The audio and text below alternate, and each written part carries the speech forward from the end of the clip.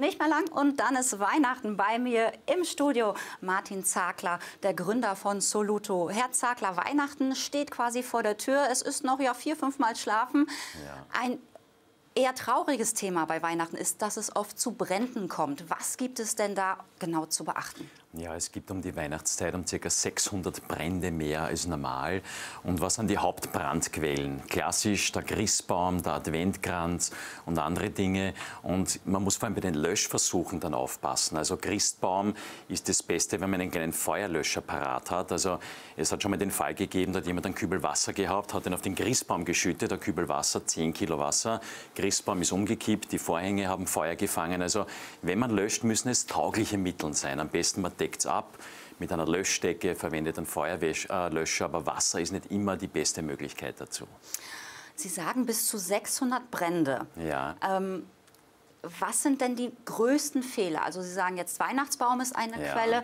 Ähm, Adventskranz, wie sieht es damit Adventkranz aus? Adventskranz ist ähnlich, das kann man schon mit Wasser löschen, mitunter kann irgendeine Löschdecke oder eine Decke drüber schmeißen. Was auch noch sehr häufig vorkommt, Weihnachten wird gern Fondue gemacht. Das ist oft ein Topf voll mit Öl, der heiß ist. Wenn das zum Brennen beginnt, bitte nicht mit Wasser löschen. Da entsteht eine riesige Wasserdampfwolke, die zu Verbrennungen führt, und zwar in Sekundenschnelle. Also am besten irgendein Tuch, irgendeine Decke drüber schmeißen, das erstickt die Flammen und damit ist es aus. Was auch noch sehr begehrt ist, sind diese Christbaumkerzen oder diese, diese, diese Christbaum-Sprühkerzen. Also die, die, die entzünden sich durch eine chemische Reaktion und einen Kübel bereitstellen, reinwerfen, die brennen sogar unter Wasser weiter. Also die kann man gar nicht so leicht löschen. Okay, also die besser ganz weg vom Weihnachtsbaum ja, und auch ganz ja. weg von, vom Adventkranz. Ja, unbedingt. Unbedingt. Und ein ganz wichtiger Tipp, bei Bränden mit Öl auf keinen Fall mit Wasser löschen. Nein, immer abdecken. Klassisch, wenn eine Ölpfanne beginnt zu brennen, am besten das Geschirrtuch drüber werfen, auf gar keinen Fall damit zur Abwasch gehen und Wasser drauf lassen. Das führt dann wirklich zu schwersten Verbrennungen. Ein anderes Thema sind zum Beispiel jetzt die Geschenke. Da sind ja jetzt oftmals Batterien drin ja, oder Akkus, weil es einfach viele technische Geschenke gibt.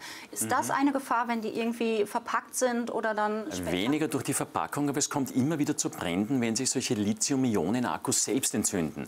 Wie kann man die löschen? Man braucht jede Menge Wasser. Am besten nicht angreifen, die kriegen über 1000 Grad, wirklich. Kübel Wasser drüber, den nächsten, vielleicht wenn es irgendwie geht, mit einer Decke nehmen, auf den Balkon ins Freie befördern. Aber die sind teilweise unlöschbar. Also da sollte man keine Selbstversuche machen. Vielleicht bringt man es aus dem Haus raus, aber nicht abdecken und einfach die Feuerwehr rufen. Also das sind Feuerlöscher und ähnliche Dinge wirklich nicht tauglich dafür. Tatsächlich, also die Akkus ja. lassen sich nicht Nein, die entwickeln so eine Hitze, das ist unglaublich. Die brennen so richtig von innen heraus. Bisschen erschreckend ist das Ganze.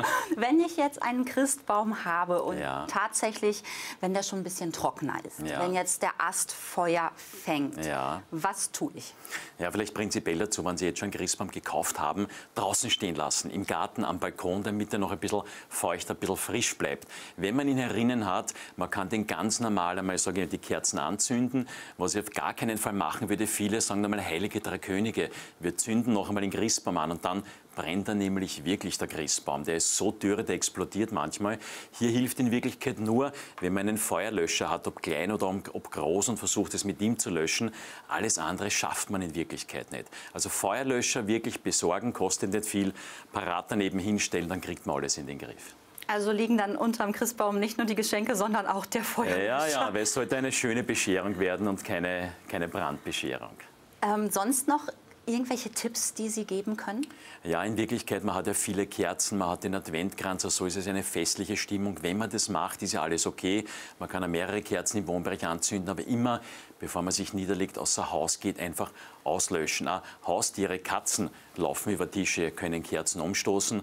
Und es ist ja wirklich, sobald man, wie gesagt, Feuer nicht im Griff hat, wenn man aus dem Zimmer geht, aus dem Haus, hat man mitunter auch ein Thema dann, dass die Versicherung etwas bezahlt, wann etwas passiert.